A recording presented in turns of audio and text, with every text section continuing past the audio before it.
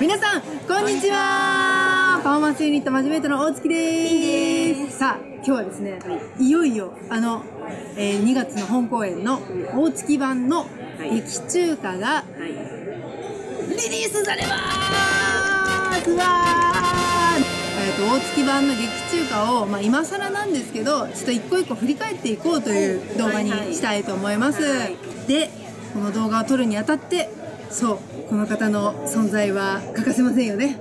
はい。ではお呼びしたいと思います。せーのパックー押し出され押し。出され押し出しじゃあまあこの3人で始めていきたいと思いますがはい。改めて自己紹介をお願いします。はい、えー、マジメイトの本公演、まあ、2月の公演で、えー、作作編曲をやらせていただきましたパクユーです。はい音楽監督パクユーさんです。あそうだ音楽監督やりましたね。そうですよ。作編曲と音楽監督やりました、はい。何曲作ったんですか？もう忘れた。忘れた。では早速1曲目。あコーヒー来ましたよコーヒー。ありがとう。ございますコーヒーが届きました。じゃあみんなでこのコーヒーをね 飲み回し飲み回し飲みすると。回し飲みするまず1曲目はそれがマジメイトです。今曲を流してます。あ。はい、ーこれこれねはい。これです。これマジメイトの代名詞じゃないけど挨拶になるような曲を作りたいなと思って初めてパックンとそうですね。作らせていただいた曲です。でデザフェスから本公演にあのーなんだろうやるにあたっていろいろ大変だったんですね。そうあのデザインフェスタっていうイベントで初披露っていう形になって、その時は、えー全部まあカラオケ、まあ、僕があの作り込んだ音をそのままこうスピーカーから流して、うん。それに合わせてパフォーマンスをするという形だったんですけど、えー本公演に関しては、えー生バンドの演奏がそこに加わるっていうことでその生の良さをうまくプラスできるように、えーまあいろいろね工夫をして、えーおオケと生演奏のこう合体技みたいな感じでお届けしました。うん。本公演見た方の感想の中でやっぱオープニングが一番派手で上がったって、うん言ってくれる人がすごいいてやっぱ照明の力もあったしあの生バンドもあったしすごいね賑やかなナンバーになって幕開けにはふさわしかったんじゃないでしょうかと思う。ん。ですね。あとはそうあの今回リリースする音源に関しては、ん。えー、とまたねあのいろいろやり方を変えて、うまあ整ったものにはなってるんですけど、うん。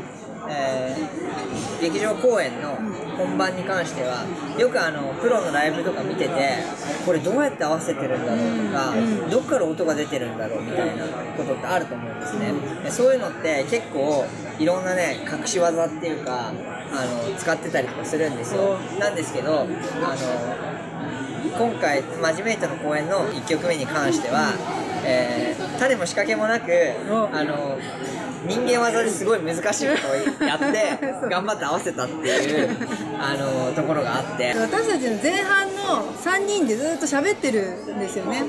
あそこのタイミングを何小節の間にこのセリフを喋りきらなきゃいけないって決まってるんですそれをねそう。身につけるまでが大変だね。いやだからそのデザフェスの時からそうだったんですけど、なんでこの人たち合うんだろうってすごい思ってあ本あの音楽家からしたら、ん。そのもっとあの確実に合わせられるきっかけ作りとかをう音でしたりとかするんですね、それとか指揮者がいたりとか、うんあの誰かの合図で合わせたりとか、オペラとかそうあるんですけどこの人たちなんか間で合うまで練習するからそれすごいなと思って。本当。いやそれ絶対合わないと思うよっつって、作ったの。に、うん。練習しますとか言って次見に行ったら合わせで合ってるっていう。こっちが合わせます。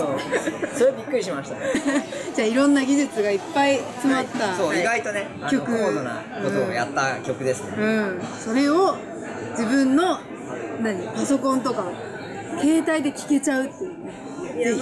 この動画は、うん。あの公開するんですよね、うん。とこに、うん。そしたらなんかそういうのあのもっと気になったこととかコメントとかもらえたら嬉しいんじゃないですか、ぜひあの音楽的なことでもいいしこの歌詞はどういう気持ちで書いたんですかとかでもいいし。なんかそういうのを、であのこの動画公開されて、で音源リリースされて、えーそれをしっかり聞いた後にまたなんか思ったこととかあったら全然、感想とかも。ねメッセージいただけたら嬉しいです。ね、嬉しい。超嬉しい。てかむしろいただけないとねちょっと寂しい。寂しい。泣いちゃう。うん。泣いちゃう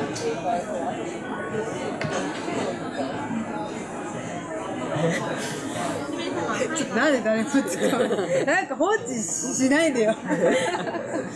いや本当に泣いてんのかなと思って。